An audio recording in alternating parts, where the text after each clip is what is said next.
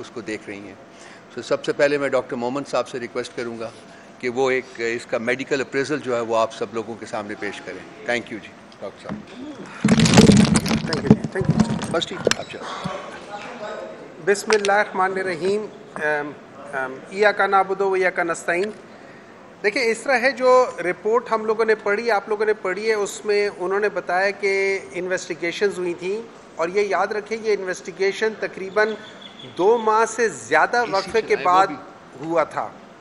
अच्छा एक medical term में इनको जो जिस एज ग्रुप में बुशा बीबी हैं वो यंग कहलाते हैं। और उनकी अगर कोई पहले से हिस्ट्री ना हो तो उसमें कोई और चीज़ को ऐड करना कि इस वजह से हुआ है वो ज़रा मुश्किल हो जाता है। अब उस इन्वेस्टिगेशन में जिसको ये लेकर जा रहे हैं उसमें दो चीज़ों को मैं आपको बताऊँगा जिसमें एंडोस्कोपी ख़ासतौर पे की गई है। एंडोस्कोपी एक ऐसी चीज़ है कि जब आप एक ट्यूब पास करते हैं और आप अंदर से मैदे को देखते हैं और अंदर से जो आ, आ, आप ये समझ लें कि जो खाने वाली नाली है उसको आप अंदर से मुलायजा करते हैं देखते हैं कि इसके अंदर कोई प्रॉब्लम तो नहीं है। उसमें दो चीज़ों को उन्होंने ज़िक्र किया एक उन्होंने कहा है कि एसोफेजाइटस वो जो मैदे से ऊपर जो ट्यूब होती है, उसको हम एसोफेगस कहते हैं। उसके लोअर हिस्से में एसोफेजाइटस मींस के वहाँ पे कोई इन्फ्लेमेशन हुई है। इन्फ्लेमेशन को दूसरे लफ्ज़ों में यह है कि वहाँ पे कोई चोट लगी है, या कोई एसिड गया है, या कोई एल्कलाइन या कोई ऐसा केमिकल है, या कोई ऐसी चीज़ है जिसने उसके ऊपर के लेयर को जला दिया दुखा दिया फिर दूसरा उन्होंने कहा है कि उनके जो स्टमक के अंदर की लेयर है, वो भी इन्फ्लेम्ड है और सोलन है। अब इसके मुख्तलिफ़ वजूहत हो सकते हैं। ये याद रखें, रिपोर्ट के नीचे हमेशा लिखा होता है कि आप इसको क्लिनिकली इवेलुएट करें कि ये जो हम रिपोर्ट कर रहे हैं, इसके क्लिनिकली जो मरीज़ अपनी बता रहे हिस्ट्री बता रहे उसके साथ कहीं को रिलेशन तो नहीं है। अब जब हम हिस्ट्री को देखते हैं तो मरीज़ कहता है, मुझे एक खाने के अंदर कोई ऐसी चीज़ गई है कि उस खाने के बाद फ़ौर मेरी तबीयत ख़राब हो गई। और उन्होंने कहा कि उसमें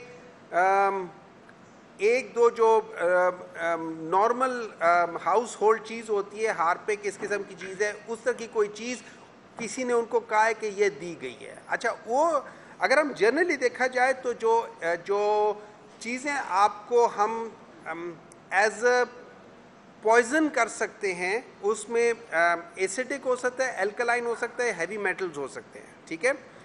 अब उसमें ये कॉमन चीज़ें जो दी जा सकती हैं।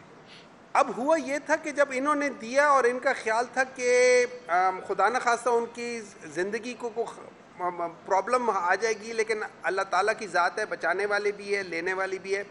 अल्लाह ताला ने उनको बचाया। तो जब उन्होंने कंप्लेन की तो इन लोगों को डर लग गया। ये पकड़े गए सारे।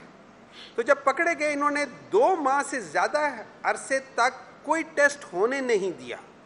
और उसकी वजह यह थी कि अगर उस वक्त टेस्ट हो जाते तो जो आज आ, आ, एंडोस्कोपी में नज़र आ रहा है वो इससे शायद 10 गुना 20 गुना ज़्यादा नज़र आता।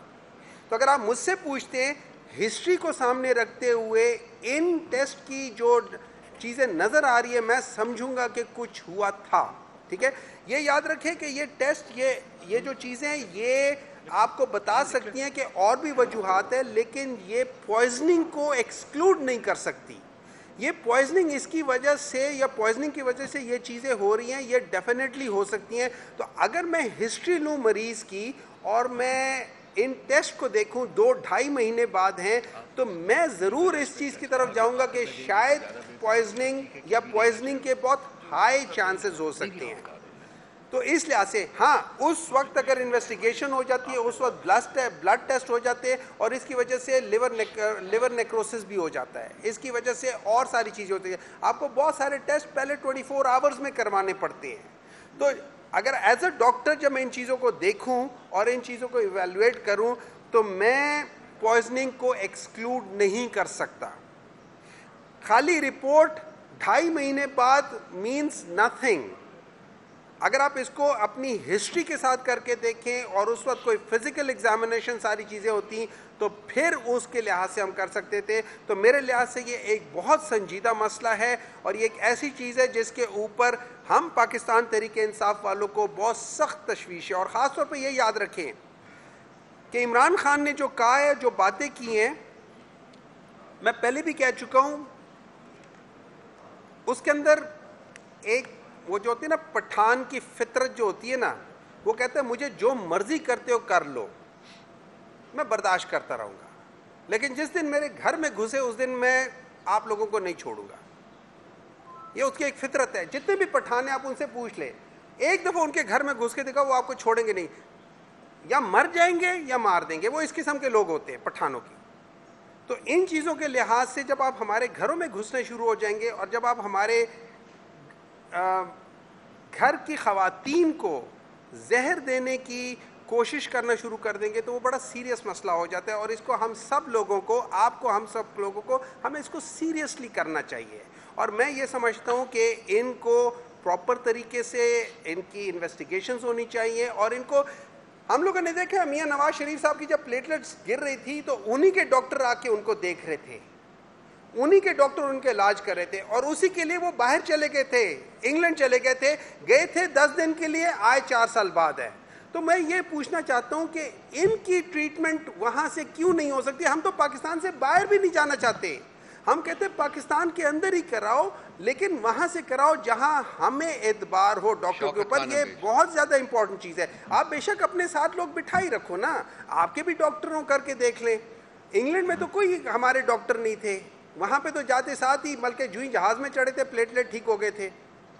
तो why not this thing so इस चीज़ के लिहाज से मेरा ये ख्याल है कि ये सारी चीज़ों को ले, देख के मुझे थोड़ी सी तशवीश है इन्वेस्टिगेशन के ऊपर कि ये जो चीज़ें ये शायद इसके अंदर कोई फाउल प्ले हो।